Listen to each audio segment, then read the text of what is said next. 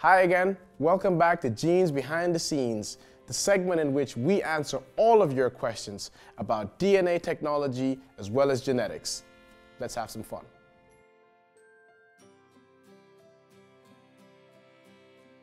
So a lot of people are always asking me, what are the uncertainties in DNA technology and gene testing?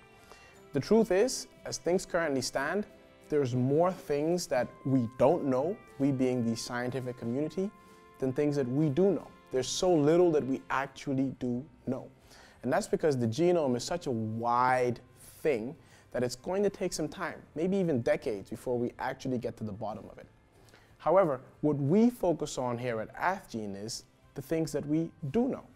As I'm sure you can imagine, not all genes have been researched the same, right? So some genes have very little research done on them, whereas others have literally entire books written about them. And a very good example of this is a gene called ACTN3 for you geeks out there that want to look this stuff up.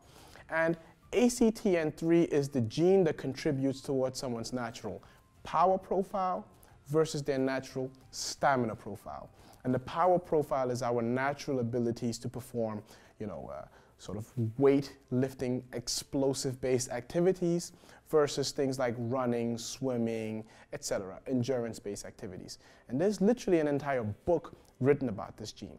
So one of the things that we try to do at AthGene is to always keep you in the loop, you being the user, with knowing how robust is the science that we're delivering to you. And that's why we have something which is the uh, genetic scoring card. Everything that we do has a grade from A, B, or even C. And as I'm sure as you can imagine, genes that are graded A are very robust and have lots of studies done on them but we also have some categories or some information that we give that have less studies done on them. So our job is merely to take the information out of a laboratory environment and give it to you in its full form and as we know it. Thank you so much for your time. Thanks so much for watching that video.